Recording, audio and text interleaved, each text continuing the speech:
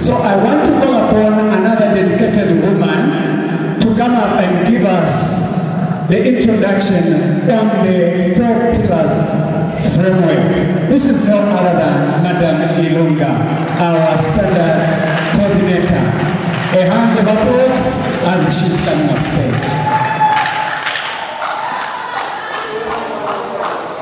Good afternoon, everyone.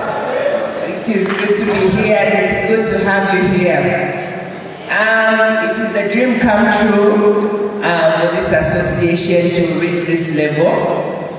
You know, we started way back in uh, 2020 when we started talking about uh, standards and quality and how we can improve the, the plumbing sector itself. So for us to be here, actually a dream come true.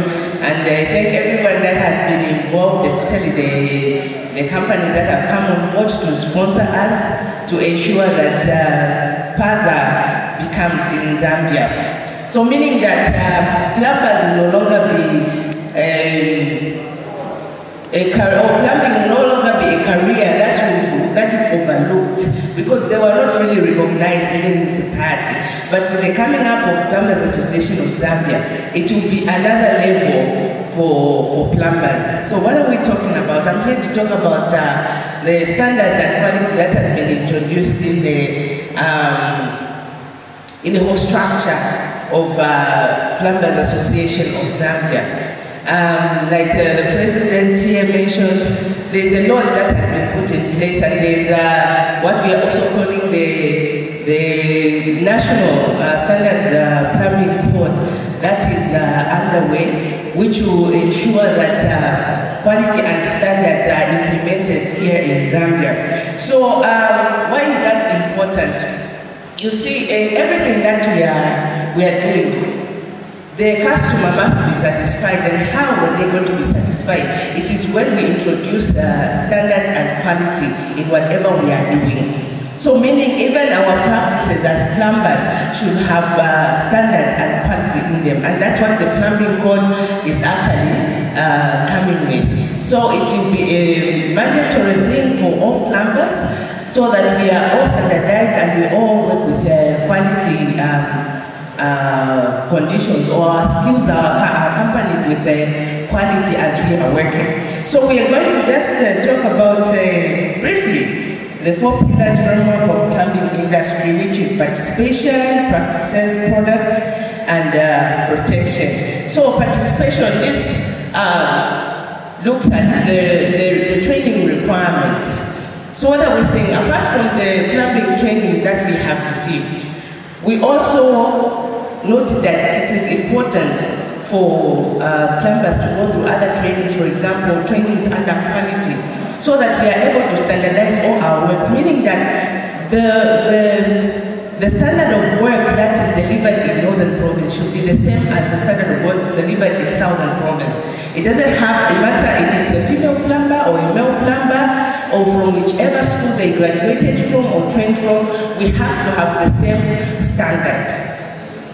The other thing we talk about, apart from uh, the, the, the, skill delivery itself, is the product that we have in Zambia. These who are selling the plumbing products should also have quality product being sold out there.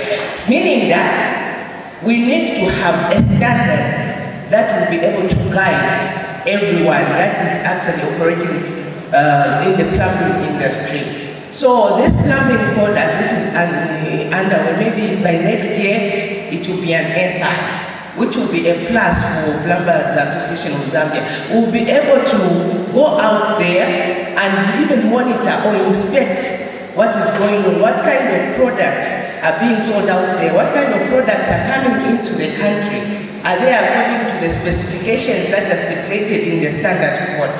You see, so which will make uh, Plumbers Association of Zambia uh, an association meaning. Okay, I'm sure many, you know, we have been wondering, what is this Plumbers Association of Zambia for? How are we going to benefit?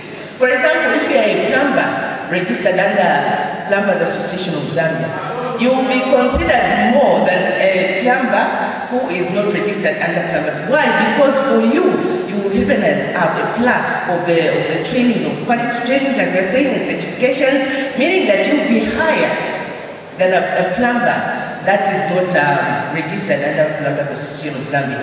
And already we are having um, requests coming to say we need plumbers registered under PAZA. So meaning even before the SI is out, we are already making a name. People are already appreciating the standard and quality uh, code that is uh, underway. So with this, um, the, the, the, the four pillars framework of plumbing industry, we'll be able to ensure that the plumbing industry comes to the level of, is recognized like other, other careers. You know, where we talk of uh, the Engineering Institute of Zambia, you see, that is how even PAZA will become.